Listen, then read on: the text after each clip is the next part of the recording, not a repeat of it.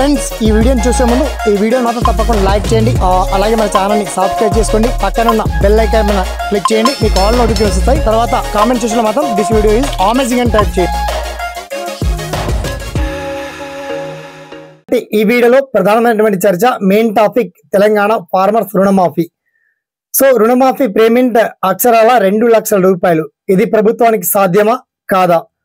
అసలు ఒకవేళ సాధ్యం చేస్తే అంటే మనకు పార్లమెంట్ ఎలక్షన్ ప్రారంభం అవ్వక- అవ్వకముందే ఎలక్షన్ కోడ్ రాకముందే ఇది సాధ్యమైతే చాలా బాగుంటుంది. లేదంటే ప్రభుత్వానికి ఏదో పెద్ద పీడనొప్పిగా మారుతుంది.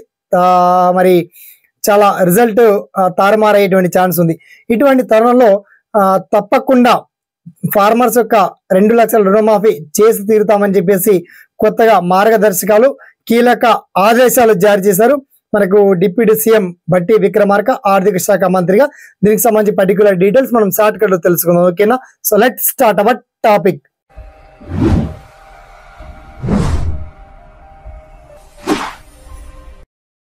farmers రుణమాఫీ గురించి కీలక ఆదేశాలను ఉత్తర్వులను కూడా ప్రభుత్వం జారీ చేసింది. మొత్తానికి ఎవరైతే అర్హులు ఉంటారో లబ్ధారులు ఉంటారో గత ప్రభుత్వాలు ఇచ్చినటువంటి వాగ్దానం ప్రకారం లక్ష లక్ష లోపు ఉన్నటువంటి వాళ్ళకి మాఫీ ఇస్తామని ప్రభుత్వం హామీ నెరవేరలేకపోయింది. అయితే ఈ ప్రభుత్వం మాత్రం తప్పకుండా హండ్రెడ్ డేస్ లోపే ఖచ్చితంగా ఈ రుణమాఫీ ప్రక్రియ ఏదైతే ఉందో దీనికి సంబంధించి కార్యాచరణ ప్రారంభిస్తామన్నటువంటి ప్రభుత్వం ఆల్రెడీ ప్రారంభించింది కూడా బ్యాంక్ అధికారులతో. అండ్ ఎంతమంది బ్యాంకుల్లో అప్పుల్లో చిక్కుకున్నారు?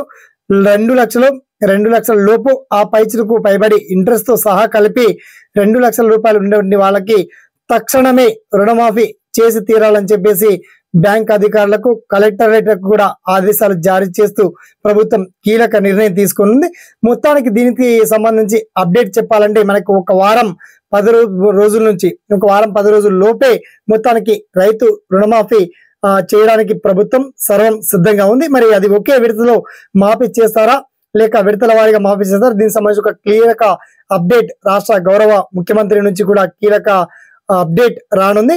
మొత్తానికి రుణమాఫీ ప్రక్రియ అయితే సాధ్యమవుతుంది. అతి త్వరలో కూడా అప్డేట్లో కూడా ఉంది. ఆ లిస్ట్ను కూడా రిలీజ్ చేసింది మరి ప్రభుత్వం.